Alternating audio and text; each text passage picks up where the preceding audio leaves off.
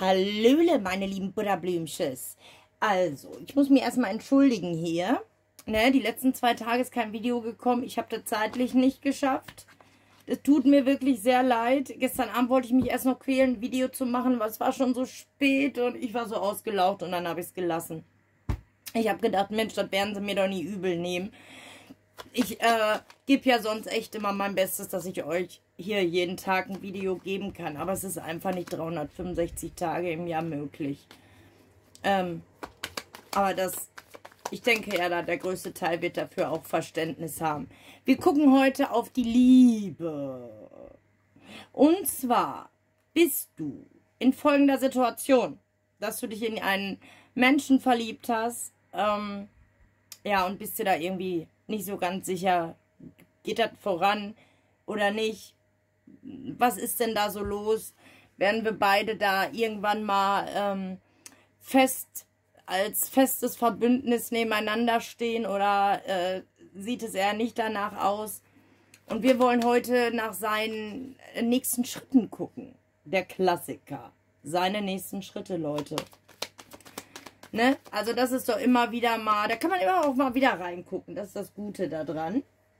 Und jetzt werfen wir einen Blick hinter die Kulissen seiner, seiner, seines Vorhangs, ne? Seiner, seines Schauspiels. Wir wollen mal gucken, wo steht's denn bei ihm? Ja, wir hoffen mal nicht, dass das ein Schauspiel ist. Und ähm, das ist eine allgemeine Legung. Also so ans Kollektiv. Und jeder muss so schauen, ähm, was er da für sich mit anfangen kann, ne? Und wenn du eine persönliche Legung möchtest, kannst du dich gerne bei mir melden über meine Homepage oder über WhatsApp.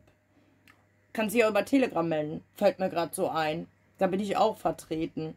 Also irgendwie eine Möglichkeit suchen, mich anzuschreiben. Ich sag gleich, über meine Homepage dauert das immer länger. Da kann das auch mal ein, zwei Wochen dauern, bis eine Antwort kommt. Das sage ich sofort. Es ist ähm, Immer so. Also es geht immer schneller über WhatsApp. Obwohl ihr da auch mal ein, zwei Tage, kann das auch mal sein, dass man da warten muss, wenn es zu viel ist, ne? Weil ich habe ja keine Sekretärin. Ich muss alle fragen äh, und ich bin auch jetzt nicht jemand, der sich so gut kurz fassen kann, ne? Wie ihr euch, wie ihr sicher schon festgestellt habt. Und darum kann das auch manchmal dauern. Dann nehmt mir das nicht übel, dann hat das nichts mit Desinteresse zu tun, sondern einfach nur mit dem Zeitmanagement. Und wenn das dann zu lange dauert und schon ein paar Tage vergangen sind, ich mich immer noch nicht zurückgemeldet habe, dann schreibt mir ruhig nochmal. Das ist nichts Persönliches. Leute, ich kann euch das nur immer wieder sagen. Dieser Kanal heißt nicht einfach so Schuselines Orakel. Ehrlich jetzt. Ne? Der Name ist Programm. Ähm, aber erstaunlicherweise, was das Kartenlegen angeht, ne? Da habe ich meine gerade Linie. Ne?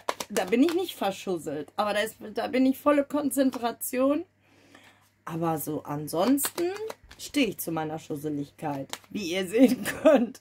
Ich muss euch mal was erzählen. Ich hatte letzte Nacht eine Mücke gestochen. Also gesagt, ey, das ist jetzt schon das zweite Mal. Ich hatte heute Morgen, ich hatte heute Morgen hier so ein Ei drauf auf meiner Hand.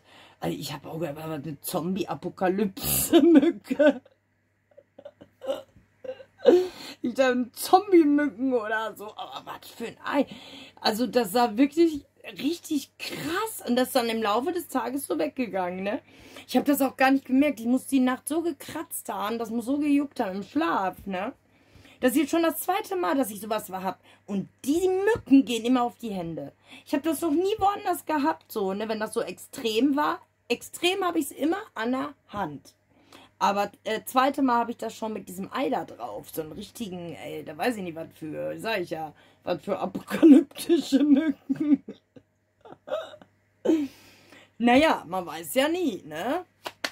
Auf jeden Fall äh, ist das jetzt schon wieder ganz schön zurückgegangen, außer vom Kratzen hier, ne?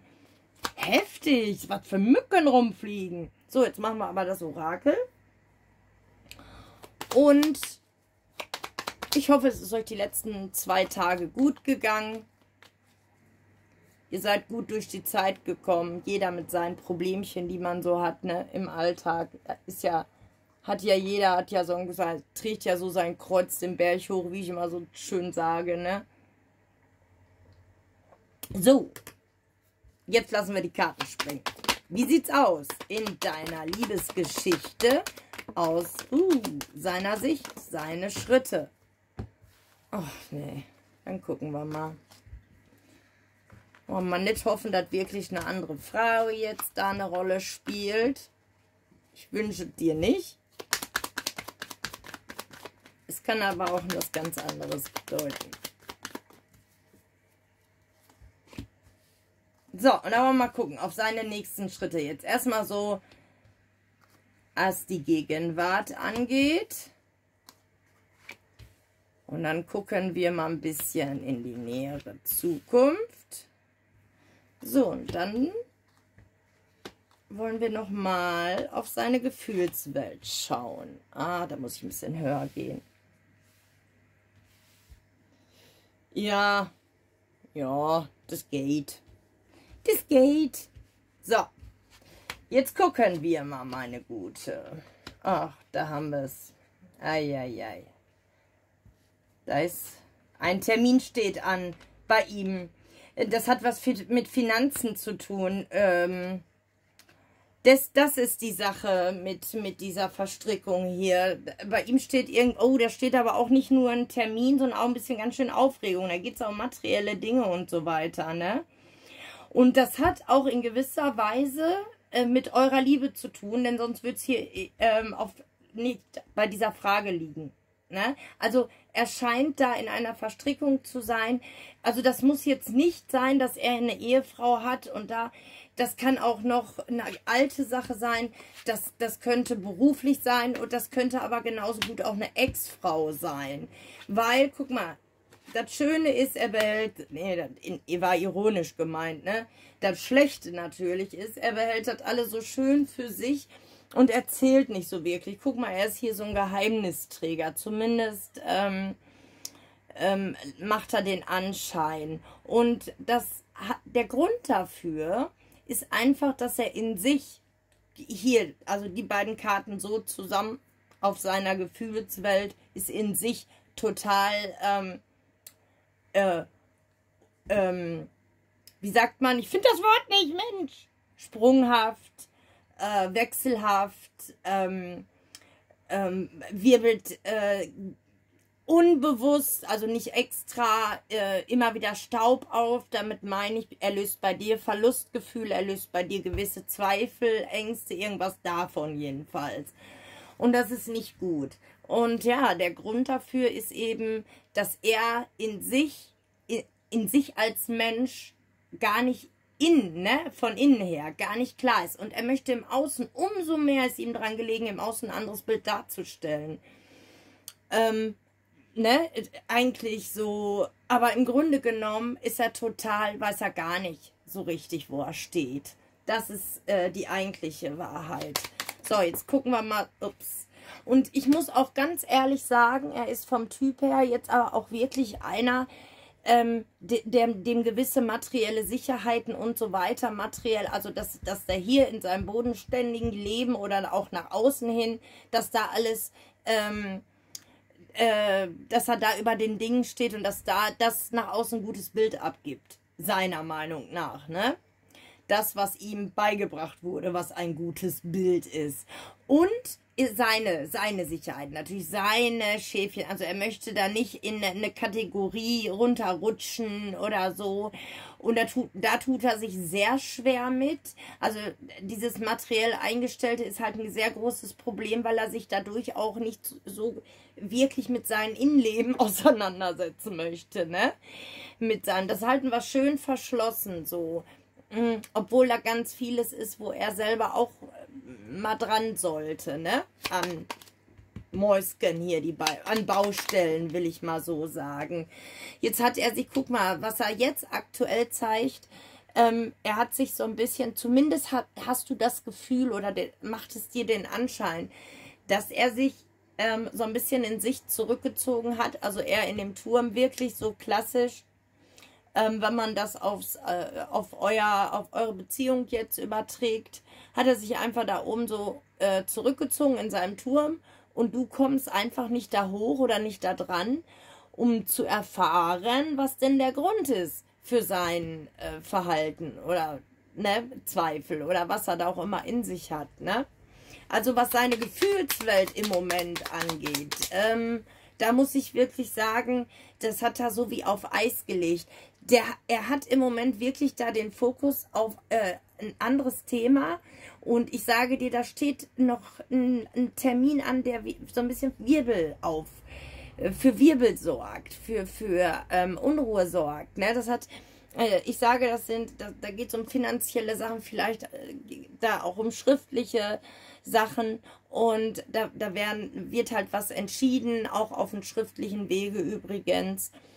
Und da, das hat, da hat er so, äh, das beschäftigt ihn unheimlich. Und das muss in irgendeiner Weise ja mit euch beiden zu tun haben. Also es überträgt sich auf eure Liebe, die äh, ne, stellt sich dadurch so dar, dass er nicht spricht, dass er ähm, sehr wechselhaft ist, dass man nicht weiß, wo man dran ist so richtig sich jetzt größtenteils ähm, in, in seinem Türmchen da verkriecht, große Sorgen hat, ups, große Sorgen hat um äh, seine, äh, seine, sein materiell, materielles, finanzielles äh, Feld, will ich das mal sagen. Guck mal, da ist eine Verstrickung hier, ne?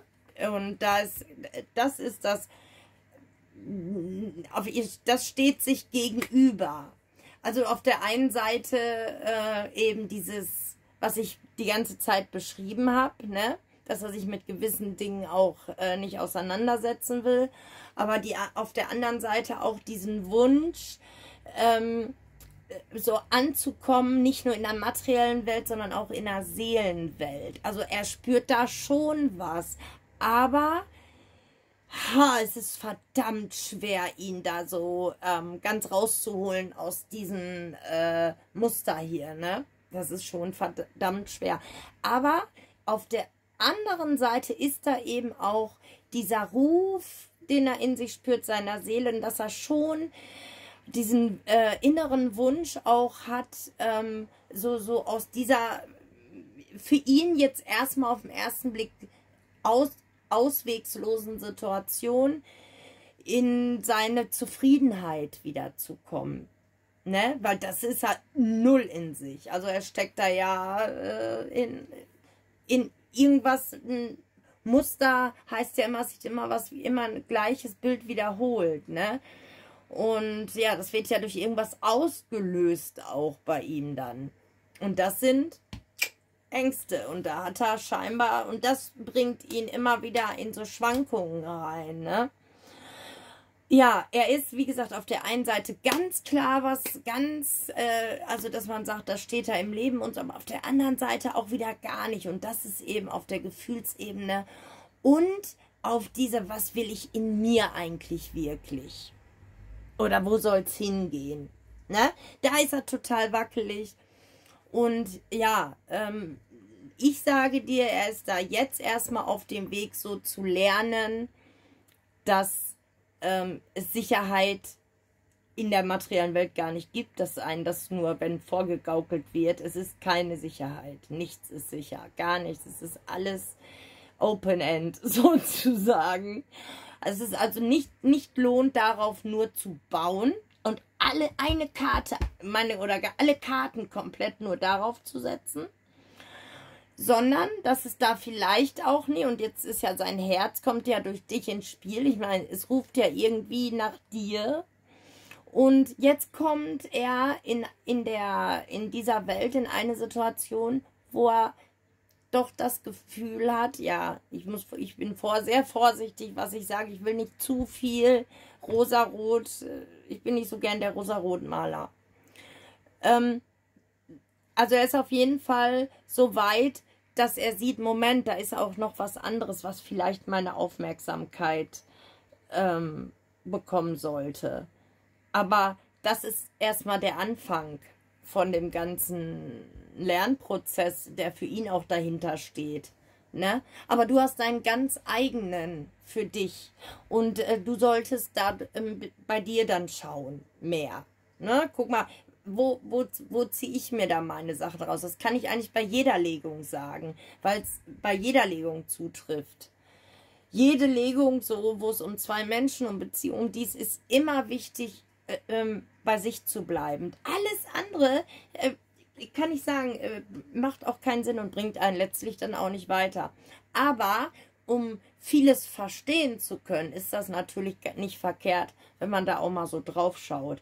Aber okay, dann habe ich es verstanden und dann kann ich auch wieder zurück zu meinen Dingen gehen. Ne? Leute von heute? So, meine Lieben. Ähm, jetzt ziehen wir noch einen inneren Buddha. Wir ziehen noch einen inneren Buddha. Oder ich ziehe den für euch. Nicht wir. So. Und so, oh, da kommt da geflattert. Tada! Es braucht Mut, sich Zeit zum Leben zu nehmen. Entschleunige dein Leben und konzentriere dich immer nur auf eine Aufgabe. Erkenne den Wert darin, achtsam bei einer Sache zu bleiben. Oh, das ist für mich auch. Also da müsst ihr die, das ist für mich auch äh, Thema, wäre das achtsam bei einer Sache. Ich bin auch immer auf fünf, sechs äh, Partys gleichzeitig. Und damit meine ich nicht die Party im eigentlichen Sinne, sondern äh, äh, verschiedenen Sachen und Projekte und was weiß ich. Das ist mein großer das ist meine große Aufgabe noch, mich da mehr zu strukturieren. Das Problem habe ich ja bei dem Kanal hier auch. Dann habe ich wieder meine kreativer Rausch sozusagen. Und dann habe ich das und dies und dann, und dann will ich alles gleichzeitig machen. Und dann stehe ich, das, das, das bringt nichts. Das bringt überhaupt nichts. Deswegen, die sollte ich mir eigentlich hier so auf, auf die Stirn kleben oder so. Und man sollte wirklich mehr Achtsamkeit auf eine Sache legen. Ehrlich, Leute, ich spreche da aus Erfahrung, glaubt es mir. Ich, ich, ich habe es immer noch nie gelernt. Und ich übe schon verdammt lange. Ich mache es noch nie so ganz richtig. Ja, ähm, okay, also, das war's von mir heute, Leute. Und ähm, ich habe euch lieb und schön, dass es euch gibt. Und danke für alles, für alle lieben Nachrichten und alles. Und ähm, ja, einfach für alles. Für alle Nettigkeiten. Bis denn. Tschüss.